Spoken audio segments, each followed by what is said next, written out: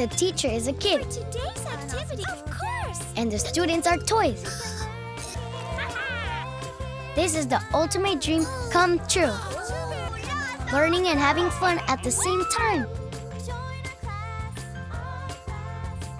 Visit Helen's Little School, a real playset.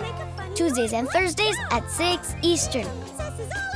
Come and have fun with Kids Street.